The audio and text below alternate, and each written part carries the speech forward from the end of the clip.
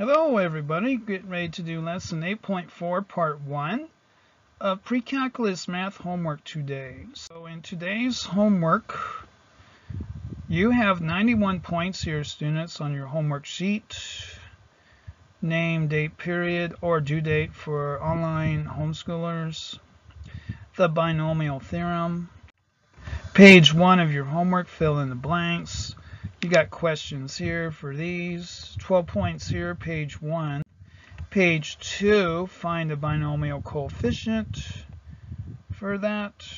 Just page 2, you got 16 points here for page 2. Whoa, I got an answer there, but you, I got another one. That's later, I guess. And then page 3 here, uh, find, uh, use a graphing calculator to find NCR for these. And let's see here. These are pretty large numbers here, so good luck on a Pascal triangle. And then these here use the binomial theorem to expand and simplify these expressions. You got 15 points here, page 3.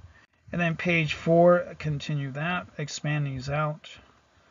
12 points here, page 4. Page 5, expand these out, students. 12 points here, page 5, page 6, expand these out, 12 points. And then page 7, expand these out, 12 points here.